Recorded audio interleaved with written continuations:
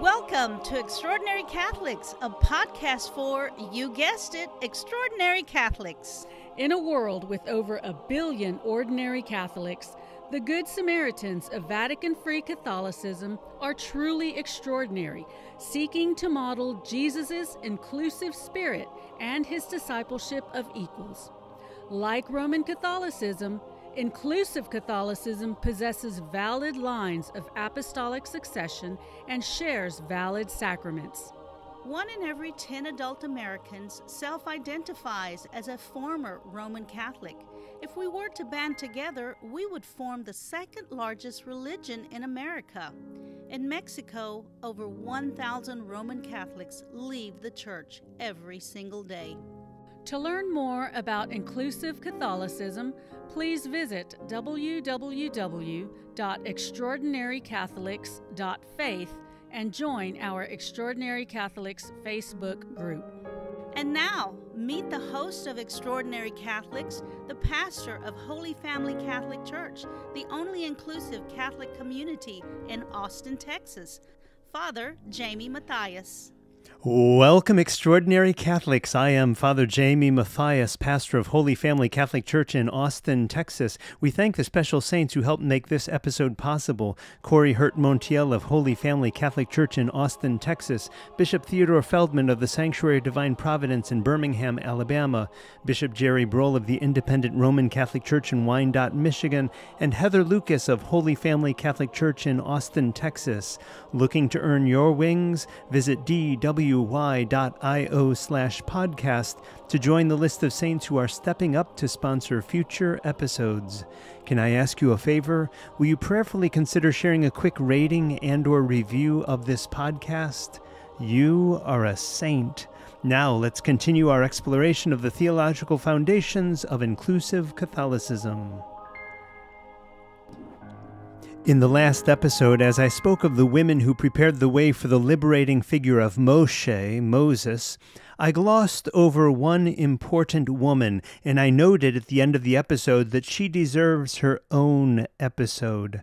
That woman is Moshe's older sister, Miriam, a woman so important that it was believed that she was one of only six people to die by the kiss of God rather than be taken by the angel of death a woman so important that generations of Jewish daughters were named for her, yes, including the protagonist of The Marvelous Mrs. Maisel, and at least six women in the Christian scriptures. Miriam, the mother of Yeshua or Jesus, Miriam of Magdala, Miriam of Bethany, Miriam, the wife of Clopas, Miriam, the mother of James, Miriam, the mother of Joseph, Miriam, the mother of James and Joseph, Miriam, the mother of James and Joseph, Miriam, the mother of John Mark, and the other Miriam.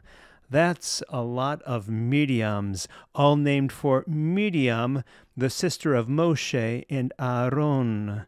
Of course, in English, we translate the name Miriam as Mary, which explains why we see so many Marys in the Christian scriptures. As we'll see, Miriam was considered an equal with her brothers, Micah 6 4. Though she speaks less than 30 Hebrew words in the scriptures, she is called a prophetess, Exodus 15:20, and no other woman in scriptures enjoys such a high status as Miriam. Knowing that the Bible is not a book of history, Miriam could be a composite figure like the matriarchs and patriarchs, or, in the words of Rebecca Schwartz, quote, a mythological composite of real women from the historical period, or even, as suggested by some, a humanized portrait of a desert water goddess of ancient days, end quote. I highly recommend Schwartz's book, all the women followed her, a collection of writings on Miriam, the prophet and the women of Exodus. The work is rich with poetry and reflections of women on their sister Miriam. Like many women in the Bible, Miriam first appears nameless. Pharaoh had ordered that all Hebrew boys be thrown into the Nile, Exodus 1:22. So Miriam's mother, Jochebed, placed her brother Moshe in a little ark or basket covered in bitumen, and she did indeed place him in the water. And the ark containing Moshe floated to the place where Pharaoh's daughter was bathing. Everett Fox translates the story from Exodus 2 4 to 8 this way. Now his sister stationed herself far off to know what would be done to him. Now Pharaoh's daughter went down to bathe at the Nile, and her girls were walking along the Nile. She saw the little ark among the reeds and sent her maid, and she fetched it. She opened it and saw him, the child, here, a boy, weeping. She pitied him, and she said, One of the Hebrews' children is this. Now his sister said to Pharaoh's daughter, Shall I go and call a nursing woman from the Hebrews for you, that she may nurse the child for you? Pharaoh's daughter said to her, Go. We'll later learn that this girl's name is Miriam. Her Hebrew name, Maryam, means bitter sea. Her name reflects the harsh reality of Hebrew enslavement, and it foreshadowed the drowned Egyptians at the Sea of Reeds. Here we see her saving her baby brother from the waters of the Nile, in which all the Hebrew boys were to be drowned. Exodus 1 22. According to the Midrash tradition, Miriam was the oldest child born to her Hebrew parents, Amram and Jochebed. Side note, here's another instance of biblical incest, since Jochebed married her nephew Amram, Exodus 6:20. Both of them were part of the tribe of Levi, the third son born to Jacob by Leah. Some four years later came her little brother Aaron. His name comes from the Hebrew root Aaron, I will be pregnant, an indication of the determination of their mother Jochebed to have a child despite Pharaoh's order that the Hebrew midwives kill all newborn Hebrew boys. Exodus 1:16. Then, some three years later, came their little brother, Yekutiel, the hope of God, or at least that was his Hebrew name in the Midrash tradition of the Sefer Hayashar. We know him as Moshe or Moses, if you prefer. So, according to the Midrash tradition, Miriam was some seven years old when her baby brother Moshe was born pause for a moment and consider the quick thinking of this seven year old who saved her baby brother and even suggested that her mother, his mother, be his nurse. Exodus 2 8. I'm fond of Rebecca Schwartz's take on this story. Quote, Through Miriam, the stage is set for a collaboration of six women to protect Moses and eventually bring about the liberation of the Jewish people. Miriam appeals to Pharaoh's daughter, even as a small child, forming a connection with the Egyptian princess.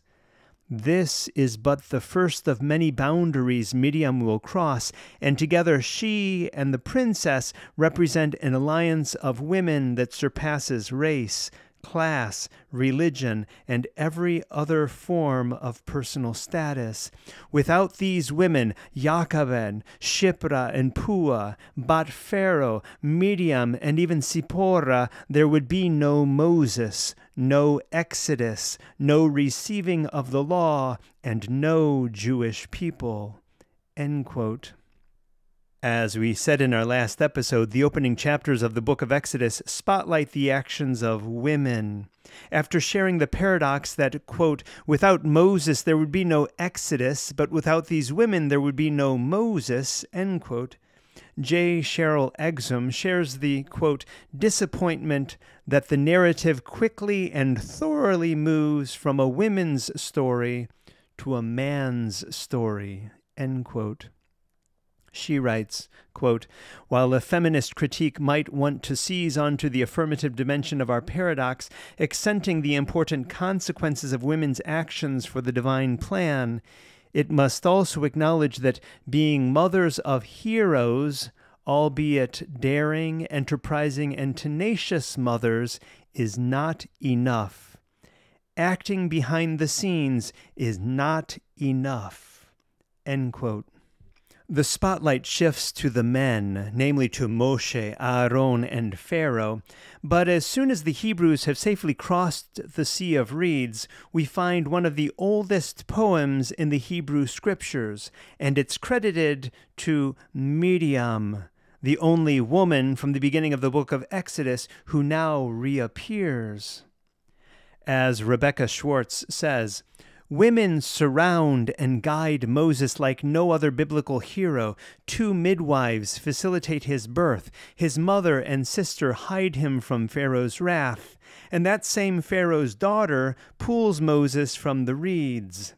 Whereas the rest of these women disappear soon after their work is done, Miriam persists within the text, reappearing enigmatically as a leader of profound importance for the emerging Israelite nation.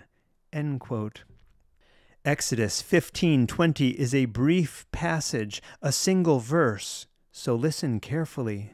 Quote, then Miriam, the prophet, Aaron's sister, took a timbrel in her hand, and all the women followed her with timbrels and dancing. Miriam sang to them, Ashira l'Adonai, I will sing to Adonai, for Adonai has triumphed gloriously. Horse and driver are hurled into the sea. Pause and consider the role of Miriam in leading God's people in worship and praise. The scriptures help us to imagine how the women, when their husbands were off at battle, gathered around the campfire at night after their daily labor and practiced the songs that they sang with such great joy when their husbands returned home alive and triumphant. Jephthah was provided a homecoming dance by his tambourine playing daughter, Judges 11:34. And 1 Samuel 18:6 for instance tells us, quote, "As they were coming home when David returned from killing the Philistine, the women came out of all of the towns of Israel singing and dancing to meet King Saul with tambourines, with songs of joy, and with musical instruments." End quote. This image reminds us of the prophetic frenzy of the musical band of prophets in 1 Samuel 10:5.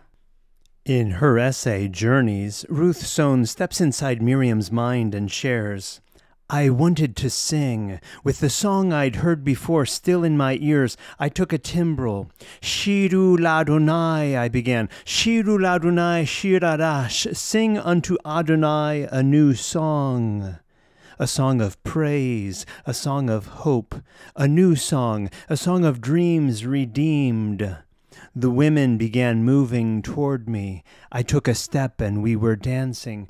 We sang with the timbrels, with the power of our hope, our bodies and hearts whirling. Shir Hashirim, the song of songs. We sang to God songs of praise, songs of love. Imagine for a moment the confidence and the bravery that it takes to lead people in song. Ruth Sohn captures this in her poem, I Shall Sing to the Lord a New Song. Quote, I, Miriam, stand at the sea and turn to face the desert, stretching endless and still. My eyes are dazzled, the sky brilliant blue, sunburst sands unyielding white. My hands turn to dove wings, my arms reach for the sky. And I want to sing the song rising inside me. My mouth open, I stop. Where are the words? Where the melody? In a moment of panic, my eyes go blind. Can I take a step without knowing a destination? Will I falter? Will I fall? Will the ground sink away from under me? The song still unformed. How can I sing? To take the first step, to sing a new song, is to close one's eyes and dive into unknown waters. For a moment, knowing nothing, risking all, but then to discover the waters are friendly, the ground is firm, and the song, the song rises again. Out of my mouth come words lifting the wind, and I hear for the first the song that has been in my heart, silent, unknown even to me. End quote. I'm also very fond of Barbara Holender's poem Miriam at the Red Sea, where Holender imagines Miriam connecting this saving event to the salvation experienced by her baby brother at the hands of Pharaoh's daughter. Quote, Are you satisfied, Mamma? Am I free at last of that one neglectful moment your eyes accused me of? All my young years I dared not ask how long you thought you could hide a baby in a basket in a river. Even now at water's edge, with the sand still wet between my toes, I dread to hear a child cry out, though it would not matter. Pharaoh's men asleep on the far shore with the sea in their throats. And our lost child has brought us here, my baby brother, this marvelous stranger who makes us one and orders us about. I'd like to ask him where he'd be without his three brave mothers, but he's been taunted enough by these stubborn slaves grumbling all the way to salvation. Look at them, sleeping at a time like this. The sounds of these nights and days rage in my ears, the wings of the death angel whistling past, the neighbors wailing for their sons, the stifled cries of our babies held so close, the sound of feet, hundreds of feet, running, shuffling, limping, slapping into the sea, the swish of reeds and the gasp of fish, the shouts and the horses' shrieks the waters crashing together, and from our shore of the sea that great Hosanna as of one voice. The Lord lifted me. I felt his hands, and my song poured out, and the timbrel shook in my fingers, and my feet never touched the ground. And since we don't have Miriam's Hebrew text, I also share the poem Miriam by the Shores by Gilles Reisel Raphael, who helps us to imagine the song of victory that the women sang on the shore to the sound of their tambourines. Quote, by the shores, by the shores of the red, red sea, by the shores of the red, red sea, the light of day lit up the night, the children, they were free. And Miriam took her timbrel out, and all the women danced. And Miriam took her timbrel out, and all the women danced. They danced, they danced, oh, how they danced, they danced the night away clapped their hands and stamped their feet. With voices loud they praised. They danced with joy, they danced with grace, they danced on nimble feet, kicked up their heels, threw back their heads, hypnotic with the beat. And Miriam took her timbrel out, and all the women danced. And Miriam took her timbrel out, and all the women danced. They danced so hard, they danced so fast, they danced with movement strong. Laughed and cried, brought out alive, they danced until the dawn, some carrying child, some baking bread, weeping as they prayed. But when they heard the music start, they put their pain away. And Miriam took her timbrel out, and all the women danced. And Miriam took her timbrel out, and all the women danced. Enticed to sing, drawn to move, mesmerized by such emotion, The men saw us reach out our hands, stretching across the ocean. As they watched and they clapped, they began to sway, drawn to ride the wave, and all our brothers began to dance. They danced with us today. They danced, we danced, Shekinah danced. They danced the night away, and all the people began to sing. We're singing till this day. And Miriam took her timbrel out, and all the people danced. And Miriam took her timbrel out, and all the people danced and the children were rockin' just as far as you could see. By the shores, by the shores, my God, my God, we were free. End quote. We'll only see Miriam one more time in Numbers 12, so we have to wonder what the role of this prophetess was at other points in the journey. We also wonder about her life. Was she married? Did she have children? The Hebrew scriptures never tell us about any husband or children. Rebecca Schwartz writes, quote, In a book that values women primarily for their maternal roles, Miriam never married or had children. Instead, the Torah presents Miriam as an equal to her brother Moses, the unquestionable leader of the Israelites. End quote. Schwartz continues, quote, An unmarried female presents difficulty in the halakha. A woman not under the jurisdiction of father or husband poses a threat to the social order. The text offers no model for an unattached Hebrew woman who is not a harlot. On a more positive note, the Talmud gives Miriam the prominent position of becoming an ancestress of King David, probably the greatest reward the ancient rabbis could imagine for a woman. Since motherhood represented the ideal goal for a woman, in their view, the establishment of royal lineage for Miriam as a reward for her faithfulness to the unborn generations of Israel and her protection of the baby Moses must have seemed to them the highest possible honor. Miriam as an ancestress of King David? All sorts of midrash traditions sprang up that accorded her this honor. Many, including Josephus, say she married Caleb, one of Joshua's spies. They gave birth to Hur. Their grandson, Bezalel, was the famous architect of the tabernacle. The difficulty of this, though, is that Hur and Bezalel were also reported to be of the tribe of Judah, not Levi. Exodus 35:30. In her essay, The Prophet and Singer, Susan Phillips imagines the marriage. Quote, her husband, Caleb ben Jephunneh, thought Miriam the loveliest woman he had ever seen. He spent their entire marriage dazzled by her, boasting of her beautiful music and prophetic insights.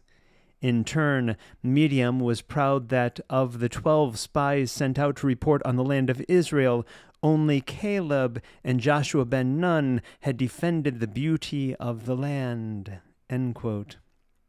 Let's take the story even further. According to the Midrash tradition, Miriam's son Hur was killed in an episode involving the golden calf created by his uncle Aaron. Susan Phillips helps us to imagine the story. Quote, and then Moses left the Israelites to speak with God on Mount Sinai. They waited the forty days he had said he would be gone, but their restlessness grew, and on the forty first day the people demanded that Aaron make them a god, a golden calf, to worship. Miriam was scornful. Does anyone believe that a calf of gold is God? she asked Caleb. He shrugged. Perhaps we should join them, he said, to be sure that nothing goes wrong. Miriam hesitated. She respected her husband's opinions, but she felt uneasy. Reluctantly, she agreed. The next day she stood with a group of women, squinting against the sun to see what would happen. The people argued. Her beloved brother Aaron argued back. Feeling both worried and proud, she watched her son Hur defend his uncle.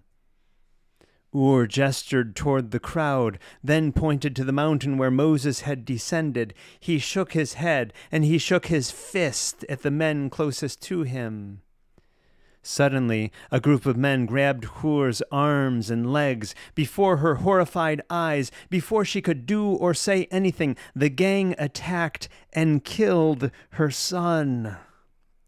She was still, as still as stone. The women surrounding her stopped talking. The quiet grew by degrees until the entire crowd was silent. Aaron looked up and saw his sister. Take her away from here, he ordered. Immediately his wife Elisheva and Moses' wife Sipporah led Miriam back to her tent.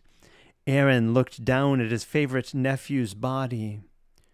Who would be next in his family to die? When Aaron saw this, he built an altar before it, and Aaron announced, Today shall be a festival of God. A festival of mourning, I hope, thought Miriam, as she allowed her two sisters in law to lead her away. In the morning she sniffed the air and was repulsed by the smell. Early the next day the people offered up burnt offerings and brought sacrifices of well being.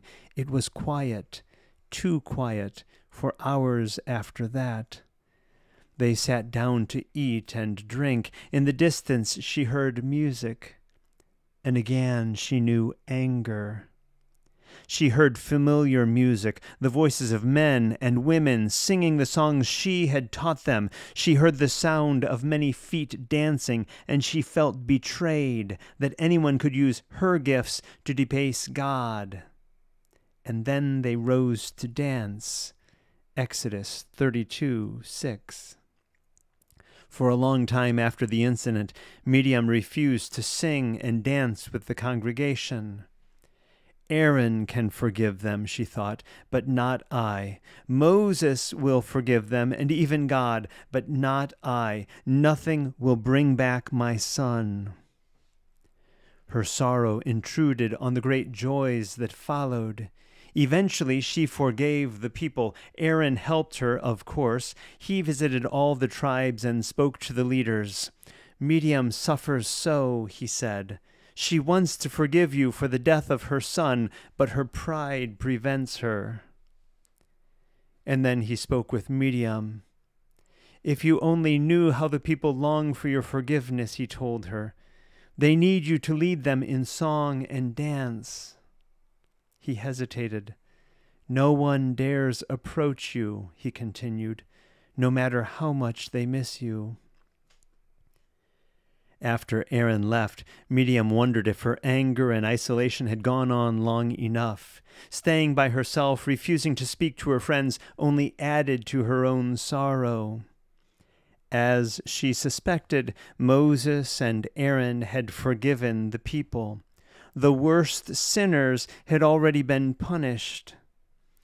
If she continued to stay apart from the congregation, someone might be tempted again to use her songs and music to worship strange gods. I love that image of the faithful Miriam who, despite her brother's shortcomings, remained faithful to her God. Speaking of the fashioning of objects from precious metals, one of my favorite stories, even if entirely apocryphal, comes from Jill Hammer's The Mirrors. It's worth quoting at length. Quote, Miriam the prophetess called to the women who had worked hard all day to spin blue, purple, and scarlet thread for the tabernacle's curtains.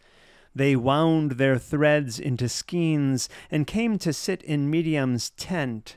She taught them the Torah for hours until their eyes drooped. The very beginning of the Torah fascinated them. They spent many days on the six days of creation, probing its mysteries, for they too were engaged in the work of creation. Finally, when they came to the creation of humankind, the women became confused, for they had read this verse God created the Adam in his own image. In the image of God, he created him. Male and female, he created them. They argued about the meaning of this verse. How could God create one creature that was also two? And how could God create a mortal creature of any gender in God's own image? They had seen on Sinai that the Eternal was a consuming fire. No mortal could approach that presence and live. Miriam listened as the women argued. The debate grew more and more heated. Finally, Miriam said to her disciples, Go home and fetch your mirrors. The women did not understand this strange request, but they hastened to follow Miriam's bidding.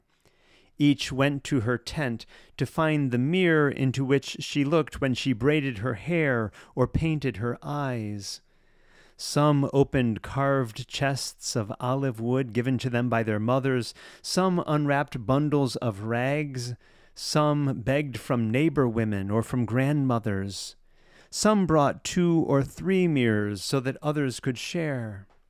Soon all came back to Miriam's tent, carrying the precious bronze circles. The firelight reflected in the many mirrors made the tent blaze like a palace of light. Then Miriam told the women to look into their mirrors. What do you see? she asked. I see myself, each woman answered. I see my eyes, which reveal my soul. I see my mouth, which speaks and sings. I see that I am different from everyone else. Each of you is made in the image of God, Miriam explained. Your soul and your speech are like God's, and your body is God's dwelling place. Each of you embodies the divine presence in a different way. When you look into your mirror, you see a woman, but you also see the divine image. If a man were to look into your mirror, he would see a man, but he would also see God. This is what the Torah means when it says God created the Adam in his own image. In the image of God, he created him, male and female, he created them. God is like the mirror. God remains the same, but reflects each of our image differently men and women, young and old. This is why, when we study together, we can reveal different facets of the Torah to each other. Each of us is a different reflection of the one.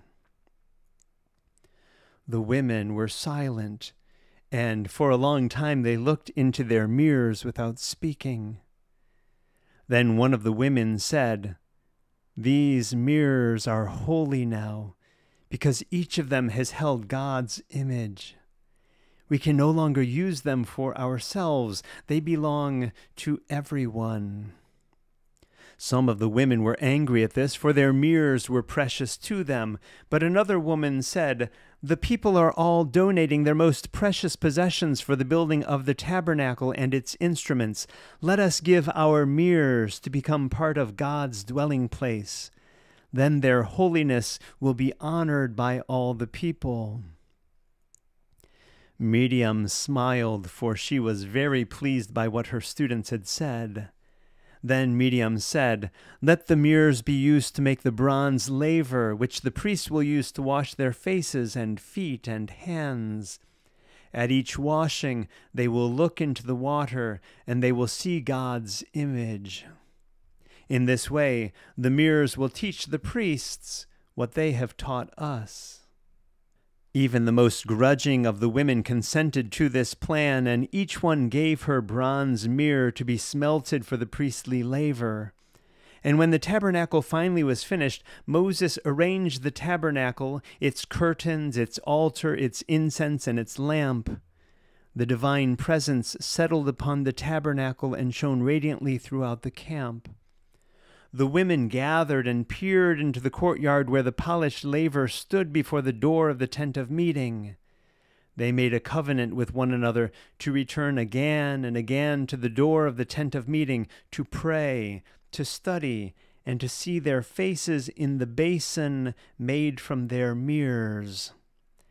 And in that company, Miriam was often heard to teach, On account of the one God's many images, is the eternal called Adonai Tzevaot, Lord of hosts. And some say Adonai Tzovot, God of the women who serve the divine dwelling place. Again, that was Jill Hammer's The Mirrors in the collection that I highly recommend, All the Women Followed Her, a collection of writings on Miriam, the prophet and the women of Exodus.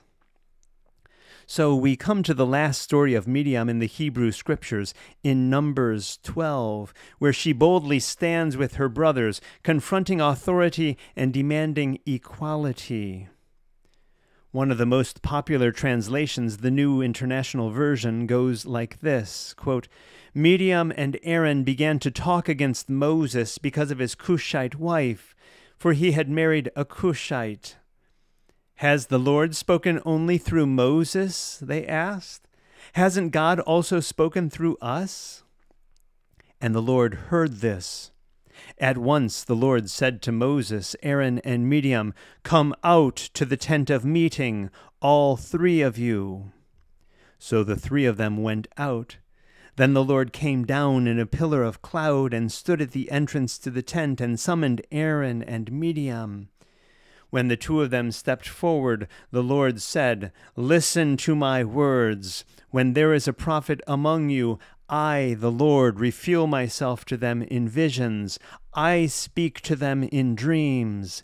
But this is not true of my servant Moses. He is faithful in all my house. With him I speak face to face, clearly and not in riddles. He sees the form of the Lord. Why then were you not afraid to speak against my servant Moses? The anger of the Lord burned against them, and he left them. When the cloud lifted from above the tent, Miriam's skin was leprous. It became as white as snow. Aaron turned toward her and saw that she had a defiling skin disease, and he said to Moses, Please, my Lord, I ask you not to hold against us the sin that we have so foolishly committed. Do not let her be like a stillborn infant coming from its mother's womb with its half eaten flesh.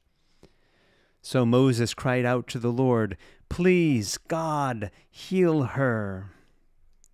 The Lord replied to Moses, if her father had spit in her face, would she not have been in disgrace for seven days? Confine her outside the camp for seven days. After that, she can be brought back. So Miriam was confined outside the camp for seven days, and the people did not move on till she was brought back. Numbers 12, 1 to 15. That is one rich story. And it's interesting to note, in the words of Schwartz, that, quote, rabbis, despite their conviction that Miriam sinned by speaking against Moses, nevertheless depict her as a positive and righteous woman, end quote. Schwartz notes that all mentions of Miriam by name come to us from the Elohist author, who was, quote, less concerned with the earthly government, espousing rather the religious and ethical obligations of the community. Although the documentary hypothesis is not universally accepted, it is interesting to imagine Miriam having a supporter among the redactors of the Bible especially one loyal to Israel's prophetic tradition. Said another way, the northern Israelite author of these Yahwist stories was much less interested in showing deference to the religious systems that surrounded the Davidic kingdom, which was centered around its capital in the south. Miriam embodied the prophetic spirit of the northern kingdom.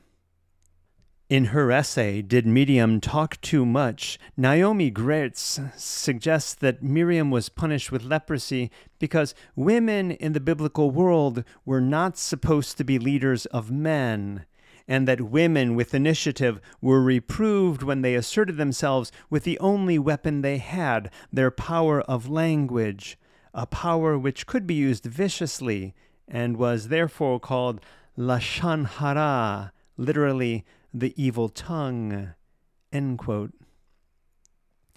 Commentators have mused over Miriam's punishment. despite the fact that both she and Aaron came before their brother. The story smacks of misogyny. In later Midrash, rabbis would suggest that Aaron also had leprosy, but that his only lasted a moment. His sin was not as great as Miriam's, since she was evidently behind the ploy. The Deuteronomy Rabbah, a truly misogynistic text, went further. And in the same way that we blamed Hava, Eve, for all sin and evil, Miriam was seen as the root for all the generalizations of all women being malicious gossips. In that work, Rabbi Isaac says, quote, It is like the snake that bites everyone who passes by, and it is surprising that anyone is willing to associate with it. So Moses said, Miriam spoke slander against me, that we can understand since women, as a rule, are talkative. Deuteronomy Rabbah 6:11. In the same work, Rabbi Levi continues the malicious generalizations, saying that women are querulous and gossips. Whence do we know that they are gossips? For it is written, and Miriam spoke. Deuteronomy Rabbah 6:11. In her essay, Graetz skillfully weaves a bridge between slander and leprosy. In the same way that those with leprosy must be removed from the camp, those with lashon hara, the evil tongue, cause separation and isolate others from the rest of society. She writes, quote, this sin was so egregious that the rabbis inserted two prayers about it into the daily silent recitation one at the conclusion, Keep my tongue from evil and my lips from speaking guile, and one, a curse, There shall be no hope for those who slander. The rabbis think of slander as worse than rape, an equivalent to murder the rapist must pay 50 selah to the victim, whereas whoever slanders must pay 100 selah to the slandered person. One might think that here is a case of overreaction. Surely the punishment for slander is not to be more severe than for rape. However, in the eyes of the rabbi, since the rapist also had to marry the victim and cannot ever divorce her, there is some kind of closure, whereas one never knows what the ripple effect of slander may be. The rabbis recognize the power of the spoken word to build or to ruin human relationships, which is why they were quick to point to Miriam as a lesson, even citing scripture. Quote, Remember what the Lord your God did to Miriam on the way as you came forth out of Egypt. Deuteronomy 24 9. Graetz writes, quote, Lashon hara was considered so evil that it was prohibited even when the remarks were true. Leviticus 19:16. The effects of slander, or what today we might call character assassination, are deadly. They are like that of the serpent who bites into one limb and whose poison travels to all the limbs. Lashon hara slays teller, listener, and subject. Leviticus Rabbah 26 2. Character assassination of leaders or of God's chosen is therefore surely very serious. How serious can be seen in this final midrash based on the passage Suffer not thy mouth to bring thy flesh into guilt. Ecclesiastes 5 5. Rabbi Mani interpreted the verse as alluding to Miriam. Miriam spoke slander with her mouth, but all her limbs were punished. The rabbis glorified Miriam when she asserted herself to defend the values of nurturance and motherhood, but disparaged her when she stepped out of line and spoke up to challenge Moses' authority. Schwartz dedicates a section of her work to Miriam the Rebel. She writes that Miriam, quote, may be the first female since Lilith to challenge the status quo and demand equality, end quote. In her essay, If There Be a Prophet, she writes that Miriam likely didn't object to Zipporah's ethnicity, referring to her origins as a Cushite, or to the interfaith aspect of her marriage to Miriam's brother. Quote, Despite Judaism's strong preference for endogamy in group marriage, the foreign wife has been presented as an exemplary ancestress too many times. Beginning with Genesis, we see Tamar, a Canaanite woman, held up as more righteous than Judah for following the Hebrew custom of the levirate marriage, Genesis 38. Later, the book of Ruth appears as the classic tale of the non Israelite woman who demonstrates her loyalty to the Hebrew God and community. Indeed, Zipporah's own quick action, Exodus 4 24 to 26, to circumcise her son in keeping with Israelite custom when Moses had neglected to do so, speaks to her willingness as a convert. A common and accepted interpretation of this passage suggests that Miriam was punished for slander. The halakhic position on lashon hara, gossip or speaking ill about another, is unequivocal. To destroy a person's reputation is tantamount to murder. Leviticus Rabbah 26 2. If Miriam has indeed been guilty of slander, then the punishment is well deserved. But if so, why Aaron's exemption? And do we really know that Miriam committed an act of gossip? The text says merely, and Miriam and Aaron spoke with Moses about the Cushite wife that he had married. We do not know that Miriam's comments about Zipporah were critical in any way. In fact, we have even more reason to believe that they were not. Many commentators, including Rashi, have read this text with the view that Miriam spoke not against Moses' wife, but rather on her behalf. The rabbis viewed this passage as confirmation that Moses held himself physically apart from his wife at all times to remain ritually pure for contact with God. There is a logical supposition, since we know God's instruction at Mount Sinai be ready for the third day. Moses added a warning of his own go not near a woman aside from the larger problem that Moses seems to be addressing only men here, we can infer that to Moses the preparation to face God meant not touching a woman. Many have believed that he therefore refrained from sexual relations with his wife at all times. Miriam's complaint, then, on behalf of her sister in law, was to advocate for Zipporah's conjugal rights traditional commentary still manages to put a negative twist on this version, claiming that Miriam and Aaron complained that Moses was being too holy, since they did not need to keep apart from their own spouse. In her essay, If There Be a Prophet, Rebecca Schwartz links this story back to Miriam's leadership of dancing and singing in Exodus 15. Of that dance, she writes, quote, this was likely a cultic or religious ritual and not merely in a spontaneous celebration. According to Burns, the dance is not merely an aesthetic pursuit, it is the service of the god.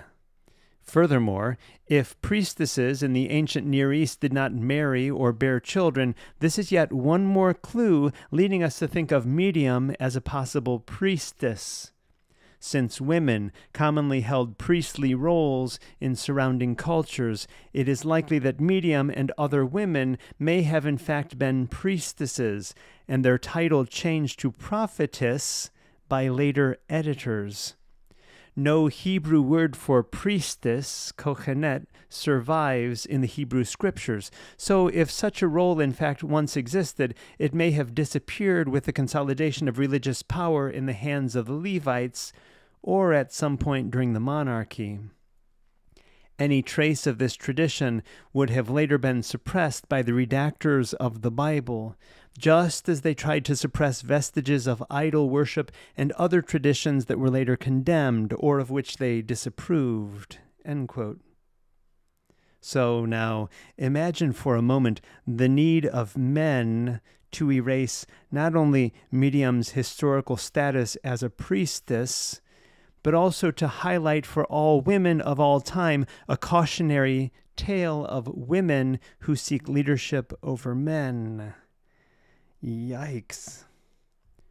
Schwartz notes that all three siblings were called into the tent of meeting, the holy place, to speak with God, such that when God tells them, quote, If there be a prophet among you, end quote, Numbers 12, 6, Schwartz says, quote, We know there is a prophet among them, and she is quote. So, why would Miriam be punished more severely than Aaron? Schwartz plainly states, quote, According to Cheryl Exum, Miriam's claim threatens male hegemony, and her exclusion from the camp symbolizes woman's role as outsider in the power structure. Aaron poses no significant challenge to the symbolic order, and he remains within the camp.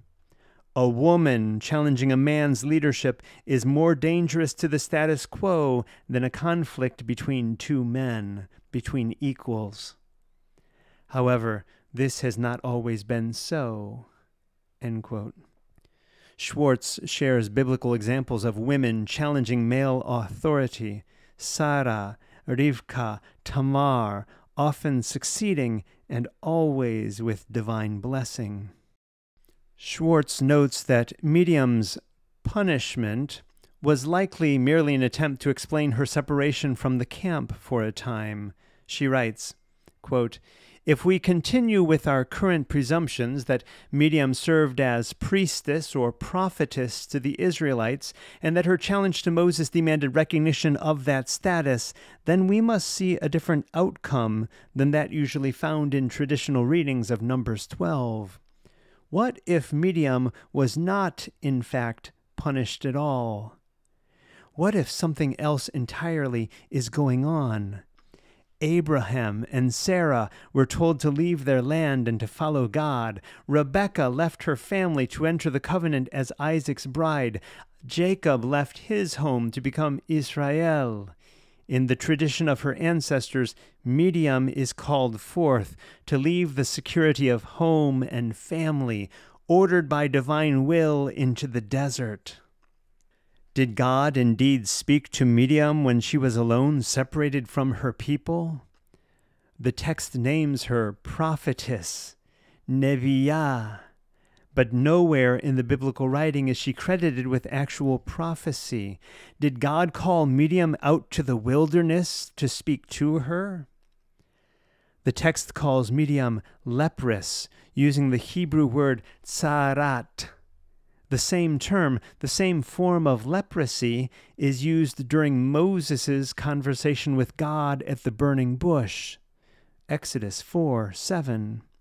When speaking to Moses for the first time, God chooses a physical sign, a transformation of the skin's outward appearance, as a symbol of divine communication. God chooses tsarat. When Moses' hand turns white with leprosy, God is not punishing him, but choosing him for a special purpose. The physical change proves to his disbelieving eyes and is intended to be a sign proving Moses' worthiness to the Israelites that divine forces are at work in him. Why should it be impossible to believe that Miriam's Sarat serves a similar purpose? The text states that Miriam's skin appears white, kashelech, as snow. White or snow are metaphors for purity. Could Miriam's tsaharat be an impurity that purifies? When Moses removes his hand from his robe at the burning bush, the text also notes that his saharat is kesheler, as snow. The book of Leviticus summarizes the laws concerning sarat and impurity. Quote, If the sarat covers the entire skin, the Kohen shall declare the affliction to be pure. having turned completely white, it is pure. Leviticus 13 12 to 17. Miriam's skin is white as snow. If she is therefore purified and not impure, why her seclusion from the camp? We know she is a prophet and receives divine inspiration. The incident described in Numbers 12 initiates and validates that status. Seven days of separation for purification also remind us of the consecration of Aaron and his sons as priests, when they are instructed to remain secluded for seven days before their inauguration as Kohanim, Leviticus 8. Was this then Miriam's consecration as a Kohenet, as a priest? Most translations render Numbers 12 9 as, quote, the wrath of God flared up against them. But the verb sten, kara, can be translated to mean simply to burn or be kindled. The interpretation of God burning with anger is up to those who perceive anger within the context of this story. This sentence just as easily reads that God was kindled more within them. If the Spirit of God is kindled within Miriam, following the declaration, If there be a prophet among you, then clearly we are not reading about punishment. The kindling of God within Miriam seems to imply that she is receiving divine communication of some sort. The Spirit of God burns within Miriam, and her skin glows pure white. Schwartz concludes The Israelites would not continue on their way to the Promised Land until Miriam had joined them again. The people for whom she spoke, the voices she represented, these remained loyal to her. Miriam the prophet went out into the desert to speak with God. What passes between God and Miriam during those seven days in the desert, however, must be left to the Midrashists, for the text offers no more clues to follow. We now read the entire story of Numbers 12 quite differently. From the rabbi's use of this tale to condemn Miriam and in fact all women as gossips, Deuteronomy Rabbah 6:11, we now have evidence pointing us toward a lost tradition of women as prophets and priests. Letting go of long held images and interpretations of familiar biblical passages is never easy, but if ever a particular chapter cried out for review, it must be this one looking with fresh eyes and a feminist consciousness, suspending what we have always been told to be true, we see new and exciting implications arise from the ancient and esoteric texts of our ancestors. Miriam's rebellion may represent the last stand of disenfranchised Hebrew priestesses clinging to their way of life as a new hierarchy rose to power. End quote. And that brings us to Miriam's death. The Hebrew scriptures tell us very little about this event. Quote, in the first month, the whole Israelite community arrived at the desert of Zin, and they stayed at Kadesh.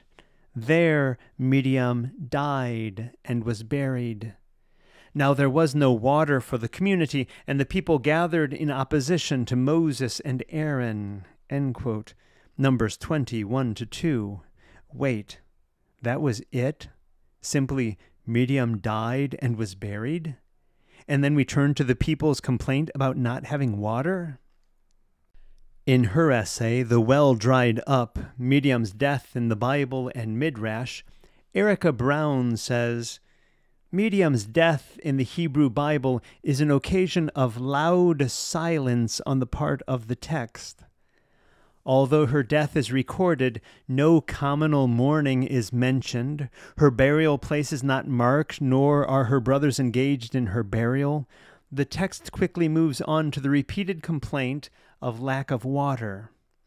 This is a sharp contrast to Aaron's death, which occurs in the very same chapter, and to which seven verses are dedicated, and the presence of the grieving children of Israel is emphasized.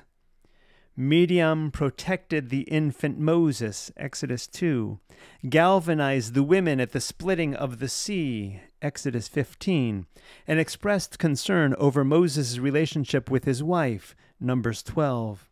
Her death certainly warrants greater attention. A closer look at the text, its commentators, and the Midrash may fill in some of the narrative gaps. In linguistic and thematic terms, Miriam's death parallels the attention her life was given in the Bible. Miriam is one of the few women who occupy a frontal place in biblical lore and is not depicted as the supportive partner to a heroic male. In fact, no mention is made in the Bible of Miriam's spouse. She is a woman who appears assertive and alone, even from a tender age. Despite this portrait, we get very few glimpses into her character and her behavior. Those that we do have are usually brief, one or two verses. In contrast to her two famous brothers, she is only mentioned a handful of times in the Torah and once in Chronicles, 1 Chronicles 5:29. When we are introduced to her, she is without a name and seems a distant figure in the early life of Moses quote, and his sister stood far off to know what would be done to him, end quote, Exodus 2 4. Her glorious moment of song at the Reed Sea only occupies two verses and is diminished somewhat in uniqueness when we read in Judges 11:34 and Psalm 68:26 that it was a common custom for women to welcome men home from battlefield with timbrels and dancing. For example, quote, And it came to pass on their return, when David returned from slaying the Philistines, that the women came out of the cities of Israel, singing and dancing to meet King Saul with timbrels, and with joyful song, and with lutes. End quote. 1 Samuel 18, 6 7.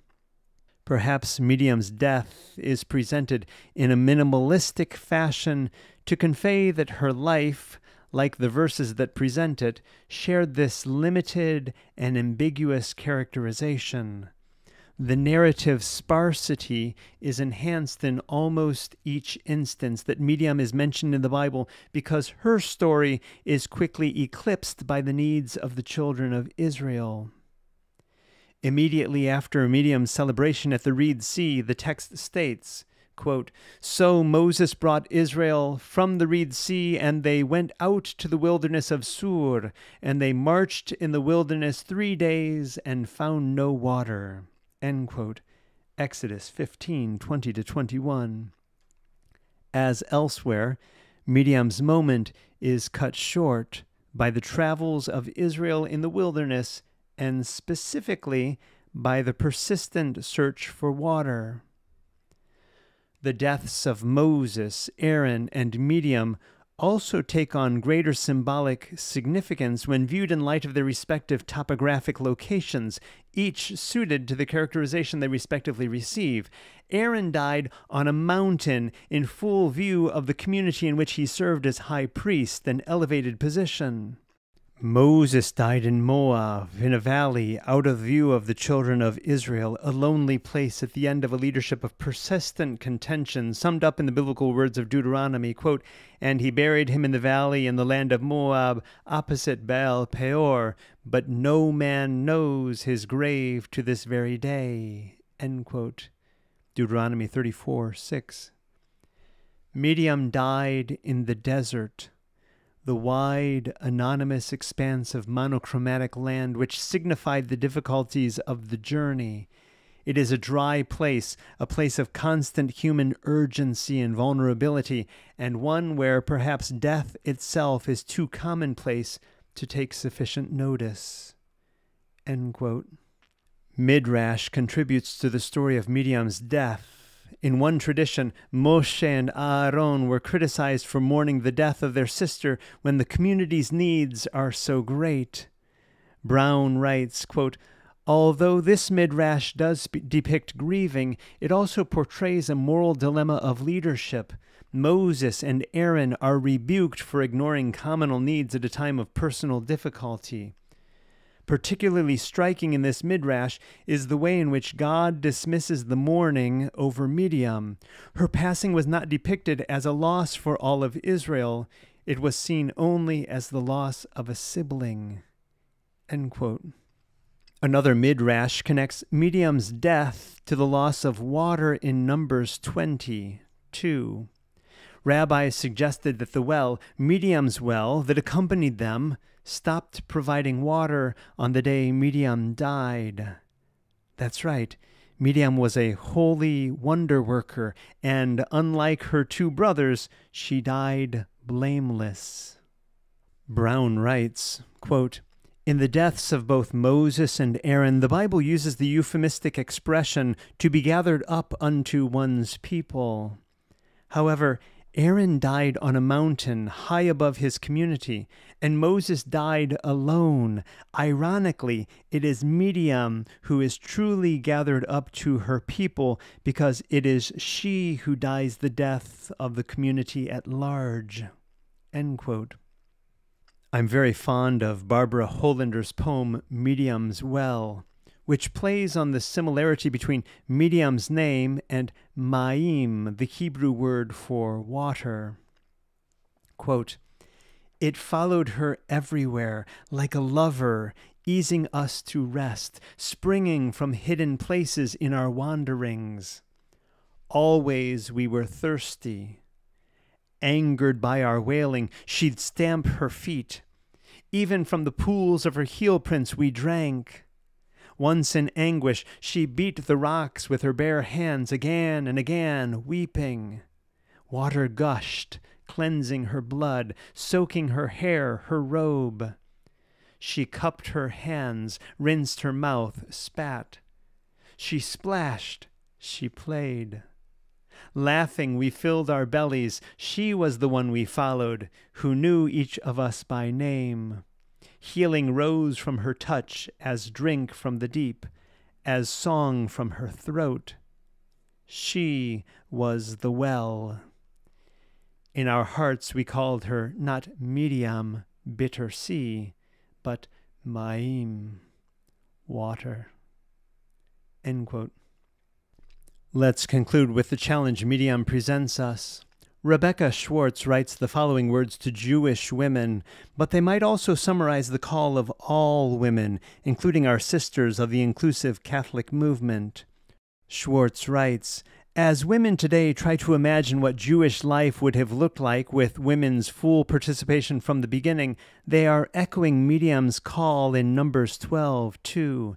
Has God not spoken also through us? As a leader of women, Miriam took center stage, the Bible tells us, and all the women followed her. Exodus 15:20. In recent years, growing numbers of modern women have been doing the same. As some take broader roles in ritual, the figure of Miriam becomes central. End quote. Perhaps most importantly, in the words of Schwartz, Miriam, quote, has emerged as a symbol of the Jewish feminist movement. She represents the struggle of Jewish women to find a voice in the tradition, demanding recognition and parity, and even symbolizes a messianic era of full equality. End quote. Schwartz concludes, quote, the women at the sea sang separately from the men, but next to them and in parallel. Here is a model for the modern women's movement. Create new rituals by adding women's voices, but without abandoning the tradition. Just as Miriam calls upon God and Moses, saying, Has God not also spoken through me? Claiming the right of divine interpretation, modern women scholars of the Bible and Talmud struggle for recognition of new perspectives on historical writings. Perhaps, as with the golden calf, women in some ways have stayed even more faithful to the spirit of the tradition. After all, it was a man, not God, who excluded the women at Sinai. Miriam's rebellion serves as a model for modern feminists. Miriam may be seen as a patron saint for any woman, rabbi, or scholar who has had to fight for a place at the table. End quote. I've said it before, I'll say it again. It's a grave sin that we, as a society and as a church, have deprived our sisters, our mothers and daughters, our grandmothers and granddaughters, not only of the rich spiritual tradition that belongs to them, but also of their rightful place of leadership in church and society. Ordinary Catholics may marginalize the Miriams, the priestesses and prophetesses among us, Ordinary Catholics may seek to use the scriptures to justify their own sexism, misogyny, and the unjust systems that keep some in power at the expense of our being able to realize Jesus' discipleship of equals and Paul's vision of true unity and equality in the body of Christ. Let's not be ordinary Catholics. Let's be extraordinary Catholics. Before we go, check out the March April issue of Extraordinary Catholics magazine, available at www.extraordinarycatholics.faith/magazine. It contains extraordinary articles by Reverend Brett Banks of the Independent Catholic Ordinariate and the Advocates of St. Sebastian in Dallas, Texas, Most Reverend Kenneth Corbin of the St. Francis Community of Faith of All People in Long Island, New York, part of the Catholic Diocese of One Spirit.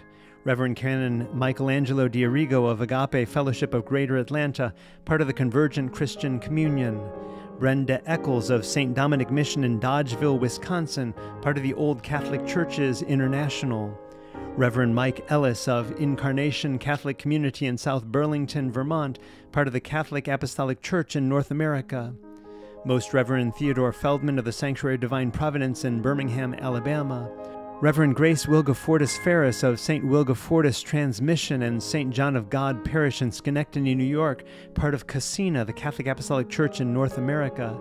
Sister Laura Hayes Marsh of the Ascension Alliance in Montgomery, Texas, Very Reverend Ben Jansen of the Progressive Catholic Church International in San Diego, California, Reverend Kathleen Jess of Divine Savior Community in Kingman, Arizona, part of the National Catholic Church of North America, Most Reverend David Kalk of the Ecumenical Catholic Church in Guadalajara, Jalisco, Mexico, Reverend Mimi Mackey of Emmaus Ecumenical Catholic Community in Oshkosh, Wisconsin, part of the Ecumenical Catholic Communion.